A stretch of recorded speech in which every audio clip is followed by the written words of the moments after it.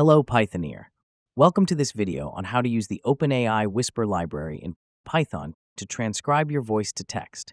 In this video, I will show you how to set up and use the library to first transcribe to pure text, and second, format it so you can use it in an SRT file. Let's not waste any time and get straight into it. There are a few things you need to know before we can start. Therefore, we go to github.com slash openai slash whisper. Here we get all info we need. Work to check out by your own. I will show you the basic things. The general setup should be Python 3.12 or below. Can't get it to work with Python 3.13 yet. And then we require a specific PyTorch version. I would try it with the most updated one, but if you get an error, you know you need to downgrade the version in your env. The next big requirement is that Whisper only works if the command line tool FFmpeg is installed. This is what I show you next. You can skip this part of the video if you have already installed the FFmpeg command line tool. You require FFmpeg for OpenAI's Whisper because Whisper processes audio inputs, and FFmpeg helps convert, decode, or resample audio files into formats suitable for Whisper's transcription model. It's essential for handling various audio formats and ensuring compatibility. If you press the download button on the right here, you see some additional ways to install it. Linux, Win, Mac, or even directly via Git. I will stick with the homebrew way because I am on Mac and this is the easiest for me. But I had some major issue get this working. That's why I drop a playlist in the comments where you find some videos that may help you to install it.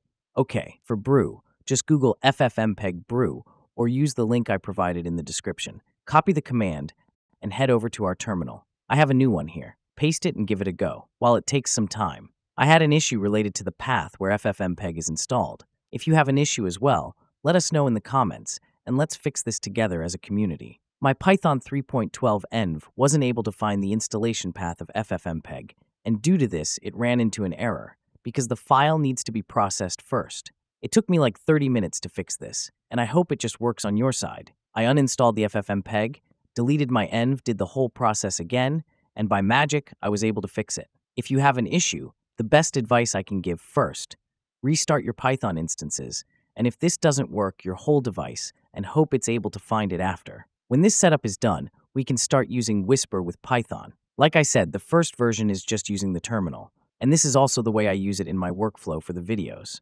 The Whisper CLI in terminal is packed with powerful functions you can't use in the plain Whisper Python library. Now, let's head over to our code editor.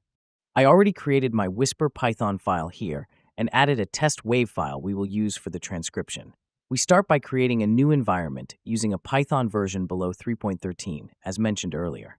I call mine Whisper here. We activate the virtual environment and install the Whisper library using the command pip install OpenAI Whisper. This should be done quickly.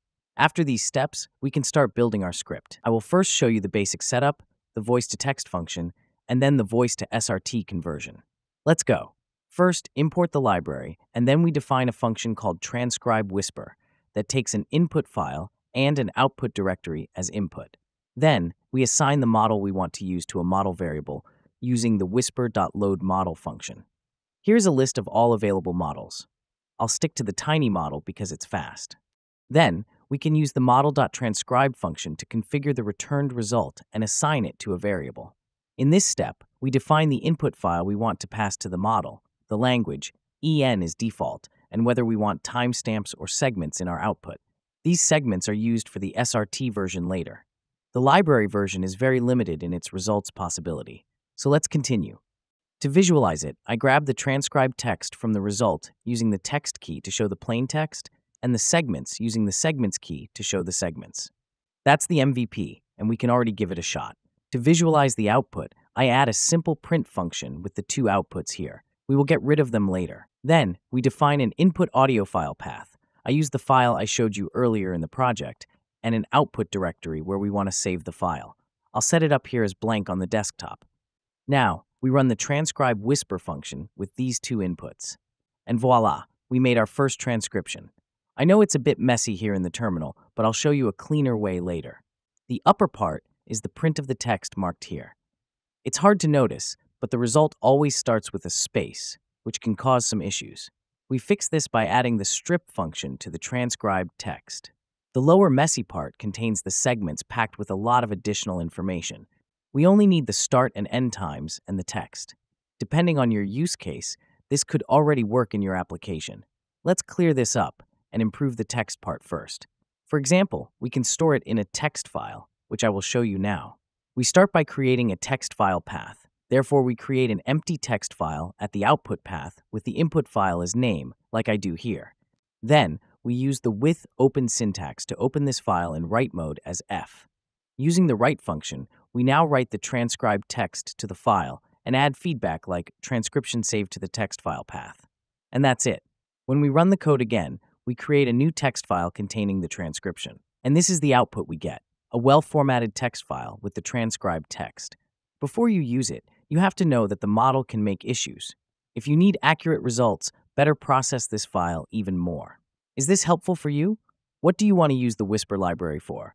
Please let us know in the comments. While I do some refactoring on the code, let me thank you for watching so far. Please consider giving me a like and subscribe. I fixed a typo in the segments, deleted the print statements, and wrapped the execution in an if main block. Okay, now let's handle the segments to store them in an SRT file, which we can upload, for example on YouTube, to add subtitles to your videos.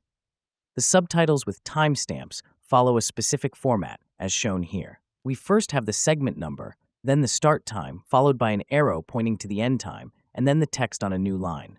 After the text, we add two blank lines before moving to the next segment. We again start by creating the empty SRT file at the output path. Here I use the same string pattern like at the text file, but now with the SRT ending to create an SRT file. I pass the output path and the file name to it, so we already have some kind of file organizing here. Then, we open it in write mode as F. Next, we use a for loop with enumerate to loop over all indexes and segments.